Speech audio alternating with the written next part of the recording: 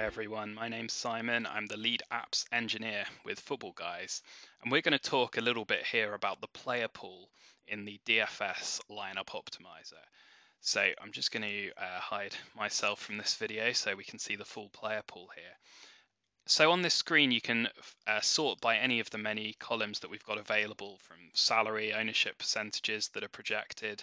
We've got uh, points, upside, the maps, maximum exposure, um, in the lineups that are built to each player.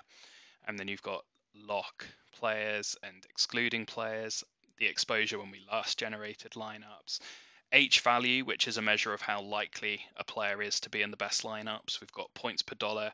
And then we've got strength of schedule information and a Vegas projection based on the over under um, and spread for, for each team. So this is saying, for instance, here Vegas 24 that the Panthers are expected to score 24 points against the Rams.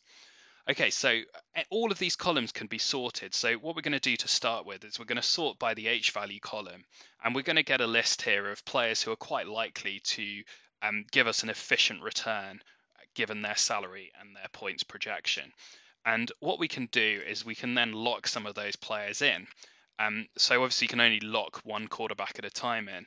Um, so let's try locking Carson Wentz. And let's just say, as an example, that we didn't want any McCaffrey or Kerryon Johnson shares in week one. We can exclude those two guys from the player pool there. And then when we run a build, they won't feature in any of the lineups, but Carson Wentz will feature in all of those lineups. And you get a count here, and you can see as well how many dollars you spent on your uh, locked players just to keep a, a track of that. So the next thing you might want to do is to edit the projections um, that are used when you're generating lineups. One really cool way of doing that is to edit the projection set balances in the tool. So we have three guys who do projections every week for offensive players at Footballguys David Dodds Maurile, Tremblay, and Sigmund Bloom. Sigmund's projections are not yet published because I'm doing this video in early August, um, but they will be closer to week one. So you can change the balance here between these guys, turn to percentages, or just balance your numbers so they add up to 100. And then you can hit apply, and that's just going to affect every player in the pool there, changing their projections according to that uh, new balance of the projections. Also, you can enter your own manual values here into the points column. So let's say instead we think instead of 21, Carson Wentz is likely to score 20. We hit 20. You can see when we changed the points projection to 20, it's automatically changed his upside in, in a direct ratio to that. Um, we could put the upside lower manually in the same way. Likewise, if we think Kirk Cousins is up for a great week, we can change his score there to 21.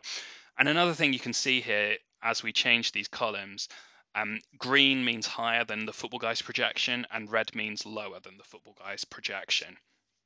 Another thing you can change here um, is the uh, exposure percentage, the maximum percentage of lineups feature that player. So if we put Carson Wentz on 10, what that means is if you generate 20 lineups, Carson Wentz won't be in more than two of those lineups. And you can edit that for any player.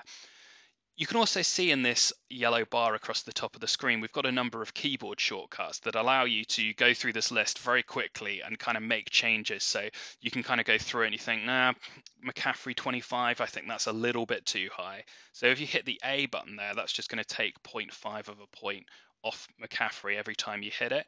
Likewise, if I hit W, that's going to put a point on, or Q, uh, or Q adds half a point on, um, and then finally S takes a whole point off. So you can just hit that as many times as you need um, until you've got the projection right about where you want it.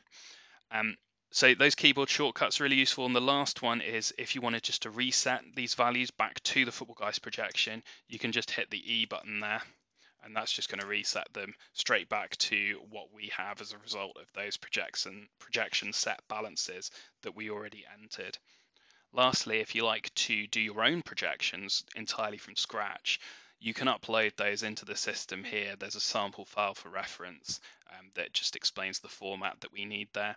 And you can just upload the file into that system and you can also clear all your data out if you want to completely reset back to square one. So there we go. That's how to edit the player pool. And of course, it's really important, especially for GPPs, just to put your own preference in, into, into here so you don't get hung up on generating the same lineups as everyone else with football guys. Um, and then once you're imported um, and you're set up and good to go, you can just build your lineups in the way outlined by the previous getting started video. So be sure to check that one out on this channel if you haven't already.